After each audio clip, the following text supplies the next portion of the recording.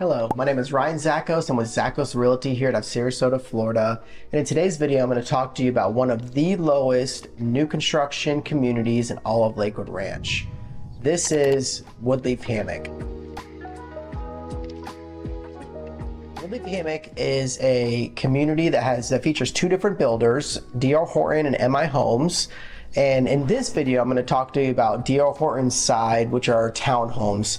I'm talking to you about these townhomes because we're talking about one of the lowest prices for new construction that you can purchase in Lakewood Ranch.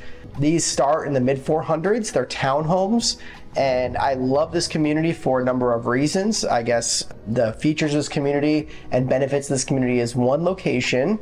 The location is right off of State Road 64. So you are very good access to I 75. You're in the northwestern part of Lakewood Ranch. So it gives you great access to Tampa, St. Pete, Anna Maria Island, which is a beautiful and wonderful beach. And then, like I talked about, I 75 and tons of restaurants, shopping, and things to do right around that area. So Woodleaf Hammock is also a gated community. The HOA is under $200 a month and there is a pool, there are pickleball courts, there are two dog parks, there's a, a little section for big dogs as well as small dogs. So um, it's a wonderful little community and in a great location and at a great price point.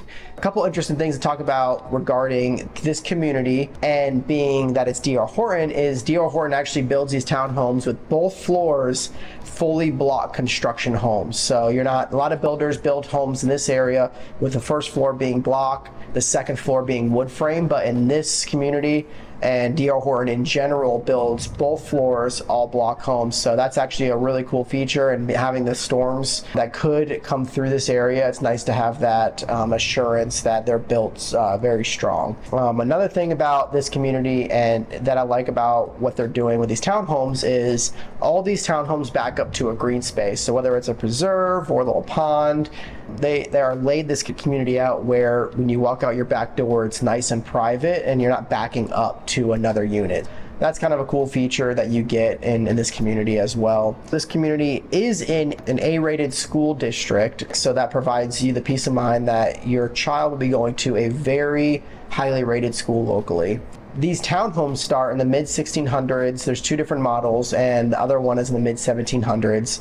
These models are very similar in that the they're three bedrooms, two and a half bathrooms.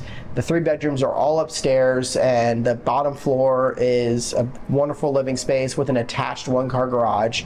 You walk into the home, one model, the staircase is on the front, another, another model, the staircase is in the back, but it is nice and spacious. It's a wonderful floor plan. The only con I see is that some people don't like that all the living, um, all the bedrooms are upstairs. So if you want, if you're a person that cannot do stairs, this is that's not for you. But if you're looking to maximize the price per square footage, the location, everything else that this community has to offer, this would definitely be something to consider. Unlike a lot of builders in the area, D.R. Horton is building inventory homes and they're able to go to contract, if not immediately, then pretty soon after.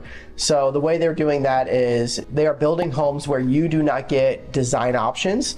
They are giving you the lot, the model and all the upgrades and features that come with that home, you're agreeing to it and you're going to contract based off that. So you don't get any choices, but your price is indicative of that as well as the ability to actually go to contract and not have to get into a bidding war and stuff like that.